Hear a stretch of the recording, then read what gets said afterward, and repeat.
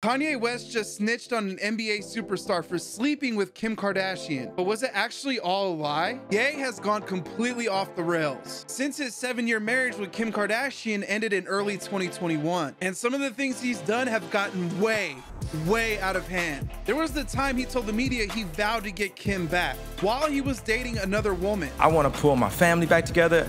I'm assuming this interview is not that helpful to that. That's my family who ran for president in 2022 and said he'd run again in the next elections. President 2024 we would have created so many jobs that I'm not gonna run on a walk. Bullied Pete Davidson so bad on social media, Pete had to get trauma therapy. Lost his brand sponsorships with Adidas, Balenciaga, and Gap for saying anti-Semitic remarks. Called the Black Lives Matter movement a scam, then later doubled down on it by wearing a White Lives Matter shirt at one of his fashion shows at Paris. And if all that still wasn't enough, Kanye got his account on Twitter suspended again for posting more anti-Semitic remarks. This time for his admiration of Hitler.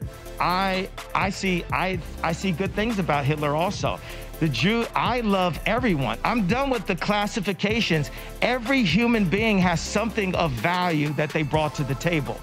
But before his account got suspended, Ye went on Twitter and posted this bombshell. Now, for those of you who don't know, Chris Paul has been married to Jada Crawley since 2011, and they have two kids. But then again, CP3 is pretty close to Devin Booker too, a guy who dated Kim's sister Kendall for almost two years. While some media outlets already claim this tweet by Kanye is 100% false and mostly done to distract people from his crazy antics, we can't tell for sure yet because social media detectives dug up one obscure Drake photo that could be a game changer. See, during the peak of Kanye's beef with Drake, Drake posted this picture of him and a couple of members from OVO wearing different jerseys of CP3. Most people thought of it as just a random promotion of his new album Certified Lover Boy, which was released in September 2021. But some people claim this picture was actually a diss at Kanye. So maybe there was some secret beef the media knew nothing about. And with Ye's recent accusation, it would actually make sense. But let's hold on for a second here. This also isn't the first time that Kanye's made false cheating claims about his ex-wife either.